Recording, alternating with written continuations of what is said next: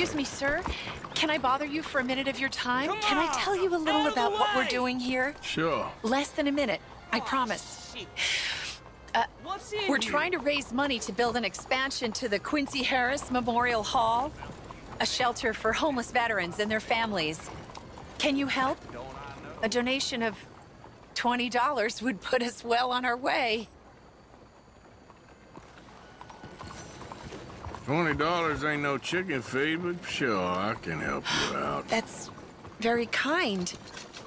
What is your name, sir? Arthur Morgan. Your donation will be acknowledged on a founder's plaque when the building is completed. You have a great day, Mr. Morgan. Well, good luck to you. Seems a worthwhile cause. Thank you, Mr. Morgan. Thank you. Are you well?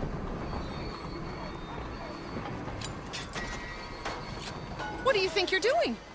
I'm getting the police right now. We are departing soon. Stop, goddammit! Oh!